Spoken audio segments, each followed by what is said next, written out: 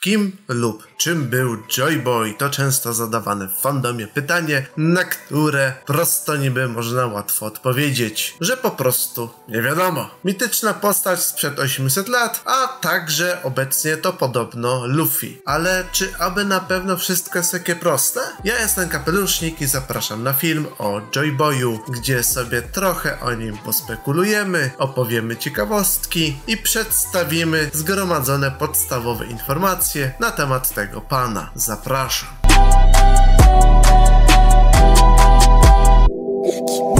Zaczniemy sobie od informacji, które już wiemy. Joyboy był człowiekiem ze starożytnego królestwa, który był także pierwszym piratem i pierwszą osobą, która wyruszyła w morze. Nie wiemy na jakiej zasadzie działa przekazywanie jego tytułu, czy być może to było jego imię, to znaczy Joyboy, ale być może to ma powiązania z wątkiem przekazywania swojej woli dalej, czyli jednym z głównych wątków w serii. Ale wracając, pierwotny Joyboy także miał ponoć moce rozciągania swojego ciała, niczym Luffy, i był porównywany do Sangodaniki wyznawanego przez olbrzymów z Elbafu. Wiemy też, że Joyboy był najprawdopodobniej liderem jednej z dwóch stron konfliktu w pustym wieku i miał silne powiązania z wyspą ryboludzi, ponieważ przepraszał ich za niedotrzymanie złożonej im wieki temu obietnicy. Z dostępnych dla nas informacji wiele wskazuje na to, że Joyboy miałby niby powrócić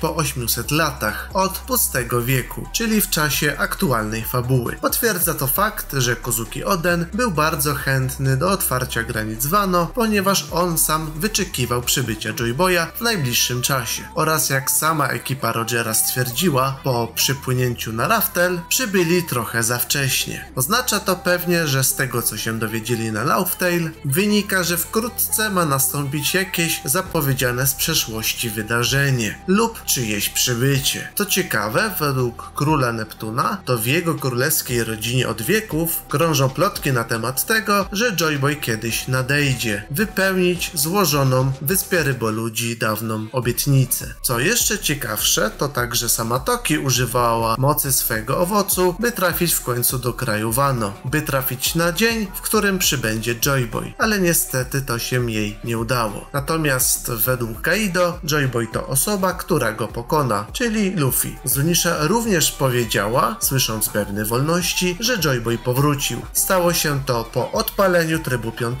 ze strony Luffy'ego. To wszystko nam sugeruje, że żeby stać się Joyboyem lub odziedziczyć jego wolę, potrzeba trzech rzeczy. Po pierwsze Zoanu Sangodaniki, dającego gumowe moce. Po drugie odpowiedniego charakteru, takiego jaki ma Luffy, żeby przebudzić i utrzymać w kontroli przebudzenie owocu. I po trzecie bębnów wolności, które prawdopodobnie są odpowiednim rytmem bicia serca podczas używania trybu 5. Przy czym warunkiem pozyskania przebudzenia jest prawdopodobnie śmierć, ponieważ Luffy w walce z Kaido zapewne umarł. Pytanie, co to oznacza? Ale to też daje nam wskazówkę, że Zoan Sangodaniki ma przepotężną siłę woli i czekał na odpowiedni moment lub na odpowiedniego człowieka przez całe wieki, żeby się przebudzić. Pytanie brzmi, czemu to wszystko sprowadza się do 800 lat po pustym wieku, a nie na przykład 700 lub 100 lat od obecnych wydarzeń? Panie Oda, czekamy na odpowiedzi.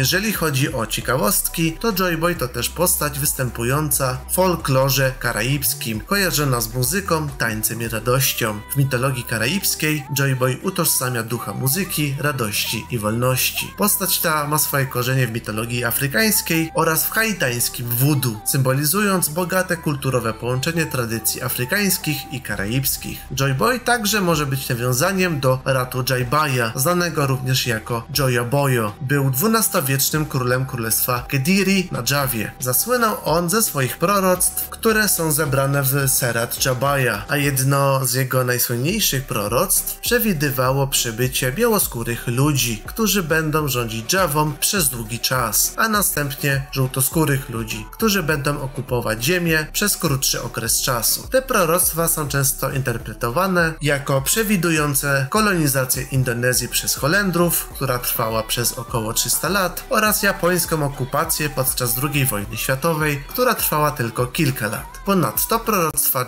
Bai mówią o pojawieniu się majestatycznej postaci znanej jako Ratu Adil lub po prostu sprawiedliwego władcy, który przywróci sprawiedliwość i porządek w czasie chaosu. Postać ta ma pochodzić z pokornego środowiska i posiadać wyjątkowe cechy symbolizowane przez naturę, takie jak słońce, księżyc i ziemia. Ostatnią ciekawostką będzie to, że Joy Boy złożył swoją obietnicę mieszkańcom Wyspy Ryboludzi 900 lat temu, a poneglyfy zostały wynalezione przez Rudkozukich 800 lat temu, więc jego list z przeprosinami powstał przynajmniej 100 lat później.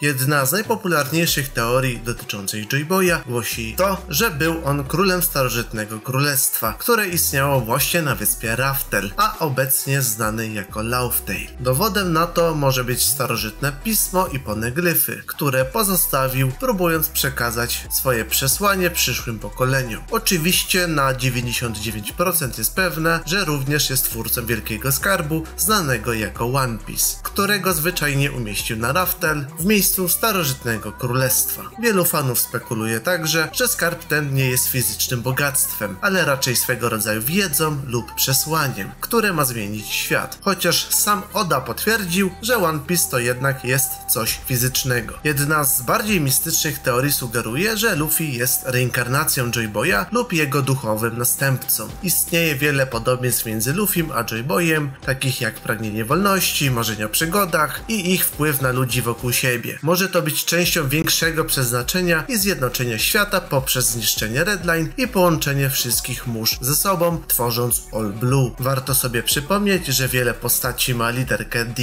w nazwisku i sugeruje to, że Joy Boy zapewne był prekursorem tego przydrostka, co wskazywałoby na jego przynależność do tak zwanej woli D i jego znaczenia w walce ze światowym rządem, co w zasadzie umieściłoby Joy Boya jako ojca wszystkich ras bo jak wiemy, nie tylko ludzie, ale także olbrzymy posiadają D w nazwisku. Plus na przykład bakanierzy od Kumy wprost pochodzili od Joyboya, przynajmniej z tego, co sugerował Saturn. Natomiast inny wariant zakłada, że przedrostek D w nazwisku danej osoby oznacza to, że jest ona potomkiem osób wywodzących się z pierwotnej załogi Joyboya i jego najbliższych sojuszników. Jest to pewnego rodzaju symbol walki i sprzeciwu przeciwko 20 rodzinom założycielskim. Być może nawet przedrostek D jest swego rodzaju sygnałem i przekazaniem woli przyszłym pokoleniom, jakie pozostawił po sobie Joyboy i jego sojusznicy, że gdy nadejdzie odpowiednia pora, to trzeba będzie ponownie stanąć do walki. Stąd słowa Corazona, że rodzina D